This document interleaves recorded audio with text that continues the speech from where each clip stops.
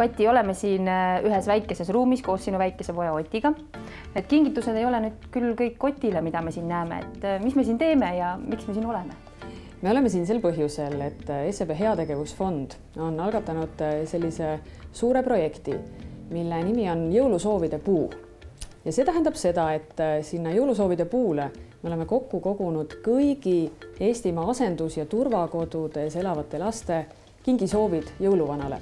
See projekt toimub juba viiendat aastat ja miks me seda kõike teeme, on just sellepärast, et selle, selle esimese signaali me saimegi sealtsamast asenduskodust. ja, ja asenduskodud kurdavad seda, et jõulude eel on nende majad küll kingitusi täis. väga paljud inimesed leiavad siis just sel hetkel, et oleks vaja viia just lastekodu lastele mingeid kingitusi, mingeid asju.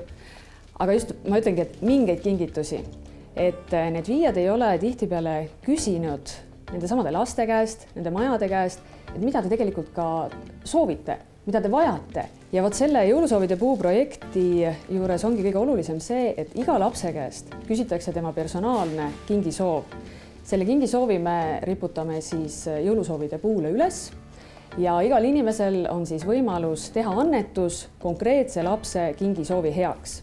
kust ma selle soovide puu leian?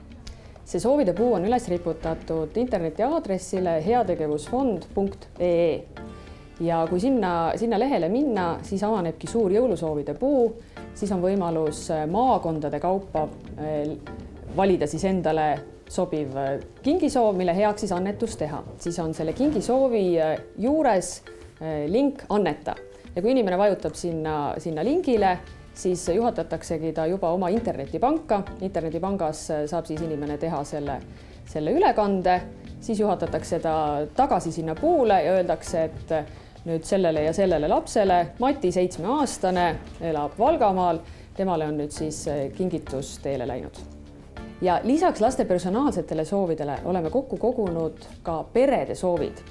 kuna asenduskodudes lapsed elavad peredes, umbes sellise kaheksa kaheksa kaupa eh, elatakse peredes, siis ka peredel, nagu meil ka omal kodudes, on mingid sellised suuremad soovid, ühised soovid selleks võib olla siis näiteks vahvliküpsetaja või mingi suuremat sorti lauamäng. nüüd perekingitustega on, on see lugu, et eh, need perede kingitused saavad täidetud, mis, eh, mis on saanud piisava hulga raha.